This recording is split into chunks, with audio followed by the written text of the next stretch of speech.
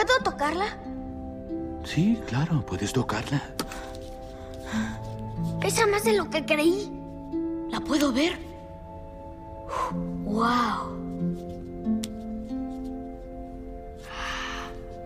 Igual que la piel de la mujer.